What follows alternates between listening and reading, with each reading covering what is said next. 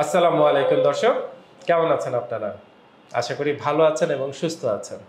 দর্শক, আপনারা অনেকে অনেক প্রশ্ন করেন। আমি আপনাকে প্রশ্ন করছি, আপনি কি সুস্থ হতে চান? আপনি কি ভালো থাকতে চান? আপনি কি ব্যথামুক্ত, সুস্থ, স্বাভাবিক একটি জীবন চান? যদি আপনার প্রশ্নের উত্তরটি হয় যে হ্যাঁ আমি চাই, তাহলে ভিডিওটি আপনার জন্য। দর্শক, ইতিমধ্যে আপনারা প্রত্যক্ষ করেছেন, অসংখ্য মানুষ আপনাদের কাছে এসেছেন, তাদের জীবনের কথাগুলো আপনাদের সাথে বলে গেছেন, তাদের অতীত অভিজ্ঞতাগুলো তারা আপনাদের সাথে শেয়ার করে গেছেন। অনেকের হাজারো কান্না, হাসি, দুঃখ সব কিছু তারা শেয়ার করেছেন। তাদের জীবনের ভুল, তাদের জীবনের সঠিক সিদ্ধান্ত সব কিছু শেয়ার করেছেন। এবং অসংখ্য মানুষ আছেন যারা আপনারা আপনাদের, আমাদেরকে এস এম এস করে বা ফোন করে আপনাদের এই অভিজ্ঞতাগুলো আপনারা আমাদেরকে জানান। যে এই চিকিৎসাটা করে বা এই ধরনের ট্রিটমেন্টে বা এই ধরনের ওষুধে আপনারা এখন ভালো হয়ে গেছেন, সুস্থ হয়ে গেছেন, যদি জানা না থাকতো হয়তো সারাটা জীবন আপনাদের এইভাবে কাটতো। এই কথাগুলো যখন আমরা জানতে পারি, আমাদের সত্যি অনেক ভালো লাগে, আনন্দ লাগে এবং পরবর্তী কাজের জন্য আমরা আরও ইন্সপিয়ার পাই। দর্শক, আমার সাথে যে বোনকে দেখতে পাচ্ছেন, উনি সুদূর কক্সবাজার চকরিয়া থেকে এসেছেন। গত প্রায় আট বছর, সাত থেকে আট বছর যাবত ব্যথার সাথে যুদ্ধ করেছেন স্বামী, সংসার, সন্তান, পরিবার সব কিছু নিয়ে যুদ্ধ করেছেন। অনেক কষ্ট, অনেক ত্যাগ স্বীকার করেছেন। বাট কখনো হার মানেননি। সবসময় চেষ্টা করে গেছেন এবং একটা সময় উনি সফলতাও পেয়েছেন এবং সর্বোপরি এখন উনি ভালো আছেন, সুস্থ আছেন। আসুন না দর্শক, ওনার সাথে একটু কথা বলি। সে অতীত অভিজ্ঞতা প্রথম থেকে শেষ পর্যন্ত ওনার কাছ থেকে আমি একটু জানব। তার আগে একটু ওনার সাথে আমরা পরিচিত হয়ে নিই। আসসালামু আলাইকুম। আসসালামু আলাইকুম রহমতুল্লাহ ওয়ালাইকুম আসসালাম। বোন আজকে আপনি কেমন আছেন? আজকে আলহামদুলিল্লাহ আমি অনেক ভালো আছি। এই শব্দটা আসলে আমরা আপনাদের কাছ থেকে শুনতে চাই এবং জানতে চাই। বোন আপনার নামটা যদি একটু বলেন আমাদেরকে। আমার নাম শারজিনা জান্নাত। আমি কক্সবাজার জেলা চৌগুড়িয়া থানা চৌগুড়িয়া উপজেলার আচ্ছা। গ্রাম বাজারপাড়া গ্রাম থেকে এসেছি। আলহামদুলিল্লাহ। বোন আপনি একজন হাউস ওয়াইফ জি আমি একজন হাউস আচ্ছা। কয় সন্তান আপনার? আমার দুই সন্তান দুই মেয়ে। দুই মেয়ে। আলহামদুলিল্লাহ। আমরা জানি যে আপনি এই এত দূর থেকে স্যারের কাছে এসেছিলেন ট্রিটমেন্টের জন্য। জি স্যার। আপনার আপনার ডিফারেন্সিয়াল ডায়াগনোসিস যেটা দেখেছি যে আপনার মূলত পিএল আইডি ছিল আপনার লাম্বার এবং সার্ভাইকাল দুই জায়গায় ডিসপ্লাপ ছিল পাশাপাশি আপনার হাতেও ব্যথা ছিল। এই ব্যথাটা ঠিক কতদিন আগে প্রথম শুরু হয়? যেটা আমাদের দর্শকদের জন্য আমার ব্যথা আগে আট বছর আগে কম ছিল। এখন আস্তে আস্তে আস্তে আস্তে যত দিন যাচ্ছে তত বেড়ে যাচ্ছে। এর আগে আমি দেখে চিকিৎসা করে গেছিলাম। মানে যতদিন ওষুধ খাইছি ততদিন ভালো আছিলাম। ওষুধ খাওয়া ছেড়ে দিলে ব্যথা বাড়ে। আচ্ছা এখন আবার আমার ভাইয়ের মাধ্যমে এখানে আসছি। আমার ভাইও ভর্তি ছিল। মাধ্যমে আসছি। স্যার ভর্তি দিছে চোদ্দ দিনের। এখন আল্লাহ রহমতে আমি অনেকটা ভালো ফিল করতেছে। আচ্ছা আট বছর আগে যখন আপনার প্রথম পেইনটা শুরু হয় আপনি বলছেন যে কোনো অ্যাক্সিডেন্ট বা এরকম কোনো কিছু আপনার হ্যাঁ। মনে পড়ে না বাট হঠাৎ করেই দেখছেন ব্যথা। ব্যথাটা কি প্রথম কোমর থেকে শুরু কোমর থেকে শুরু হয়েছে আমার। আচ্ছা। মানে কোমরটা লাগে ভেঙে যাব এরকম অবস্থায় ও তখন আমি আমাদের তো করে একটা মেডিকেলে ভর্তি ছিলাম দুদিন। আচ্ছা এটা গত আট বছর আগের কথা বলছেন? হ্যাঁ আট বছর আগে আচ্ছা সেটা কি দেখা যাচ্ছে আপনি দিনের কোনো একটা সময় কি ব্যথাটা হতো? হয়তো বসে কাজ করছেন বা হ্যাঁ, দাঁড়িয়ে হ্যাঁ। কাজ করছেন। দাঁড়িয়ে বসে মানে সোজা হয়ে হাঁটার মতো শক্তি ছিল না। আমার বাম পা একবার অবশ অবশ হয়ে গেছিল বাম পায়ে আমি একদম চাপ মানে দিয়ে হাঁটতে সামনে যে আপনি পায়ের কদম দিয়ে যে আপনি হাঁটবেন সেই শক্তিটা আপনার ছিল না। না। আচ্ছা তো তখন আপনি যখন এত খারাপ অবস্থা হয়ে গেলেন তখন আপনি আপনার নিকটস্থ একটা হসপিটালে গিয়ে আপনি ট্রিটমেন্ট নিলেন। সো ডক্টর যখন আপনাকে দেখেছেন? কোনো পরীক্ষা নিরীক্ষা কিছু করেছিলেন? পরীক্ষা নিরীক্ষা সবাই এমআরআই দিতে বলছিল আমি অবহেলা করছিলাম। তখন এমআরআইটা করেন না করাইনি আচ্ছা না করে তখন আপনি হচ্ছে তারা কি ধরনের চিকিৎসা দিয়েছিল তারা পেন কিলার দিছিল বিভিন্ন ধরনের। আর থেরাপির বিষয়ে তো কোনো কিছু বলে নাই। এমনি ওষুধ দ্বারা ওষুধ দিয়ে দিয়েছিলেন? জি এবং সেই ওষুধটা খাওয়ার পরে কি কোনো ধরনের উপকার বা কিছু পেয়েছিলেন? ব্যথা কমে আবার বাড়ে খাওয়া মানে ওষুধটা যখন শেষ হয়ে যায় রিঅ্যাকশন তখন আবার ব্যথাটা জি আসবে গত বছর গেলে একটা ডাক্তার দেখাইছি। উনি আবার আমাকে এমআরআই দিছে ওইটা করার পরে উনি বলতেছে আমার কোমরে ডিস্কের সমস্যা আছে জেল বাইরেছে। তারপর আমি স্যারের কাছে আসছি সোজা। তখন ভর্তি দিছিল আমি না থেকে ওই মানে আপনার ব্যক্তিগত কিছু সমস্যার কারণে হ্যাঁ, তখন হ্যাঁ, আপনি ভর্তি হন। আচ্ছা যখন আপনি এমআরআইটা করেছিলেন ডক্টর আপনাকে বলছেন জেল বের হয়ে গেছে। সেই সময় কি উনি আপনাকে কোনো ধরনের সাজেশন বা কিছু করেছিলেন? অপারেশন বা অন্য কোনো না না অপারেশন কিছু বলে নাই। এমনি কয়েকটা ব্যায়াম দিছিল। হুম ওষুধ দিছিল আমাকে। আচ্ছা দেন আপনি এই গত আট বছর এই ব্যথার জন্য বিভিন্ন জায়গায় বিভিন্ন ডক্টর দেখিয়েছেন। অসংখ্য জায়গায়।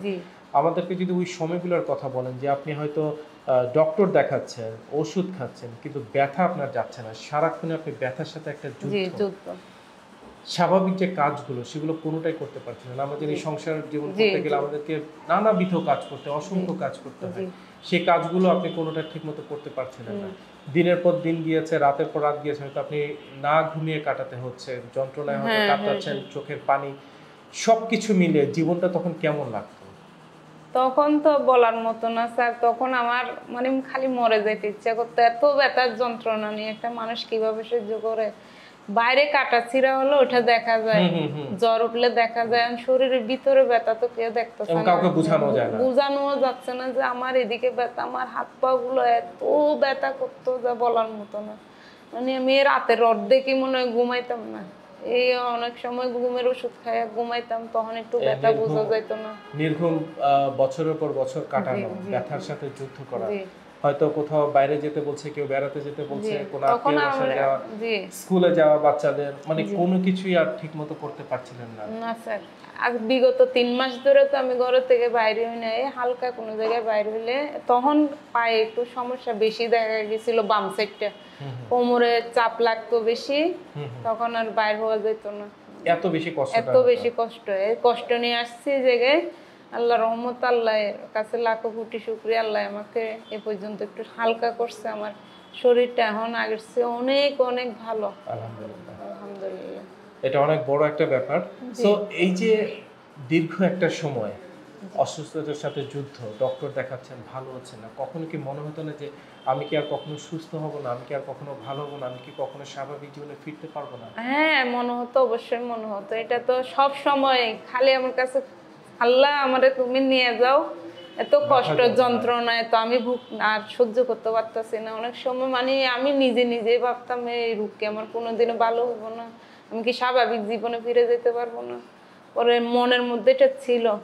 এখন আল্লাহ রহমত আসছি। একটা ভালো জায়গায় সন্ধান পাইছি। সবিল্লা স্যারের কাছে সাক্ষাৎ করে যে আমি ভর্তি হয়ে আজকে পনেরো দিন। পনেরো দিনের মধ্যে আল্লাহ রহমতে আমি অনেক অনেক সুস্থ হয়েছি। আমি আলহামদুলিল্লাহ আমি নব্বই পার্সেন্ট প্রায় একটু একটু ব্যথা আছে এগুলো ব্যায়াম করলে বা করে গেলে রেস্ট নিলে অবশ্য ভালো হয়ে যাবে। কিন্তু আমার যে অসহ্য যন্ত্রণা ছিল এগুলা গেছে গেছে তা থেকে মুক্তি পেয়েছেন এখন শান্তিতে রাতে ঘুমাতে পারছেন। জি জি। বোন অসংখ্য দর্শক আছেন এই মুহূর্তে হয়তো ক্যামেরার ওপাশে আপনাকে দেখছেন। অসংখ্য মানুষ আছেন হয়তো জানেন না কোথায় গেলে তারা একটা ভালো ট্রিটমেন্ট পাবেন। তাদের জন্য যদি আপনি কিছু যে আমি অবশ্যই বলব এখানকার এই ডিপিআরসি হসপিটালের সমস্ত স্টাফ নার্স থেরাপিস্ট ডক্টর সবই অনেক অনেক সুন্দর ব্যবহার সবার। সবাইকে বলব এই ব্যথার যন্ত্রণা না ভুগে আপনি সবিল্লা স্যারের সাথে সাক্ষাৎ করেন। ভালো মন্দ যদি ভর্তির কোনো বিষয় হয়তো ভর্তি দেবে না হলে ট্রিটমেন্ট করবে। এটা সবার কাছে আমার অনুরোধ।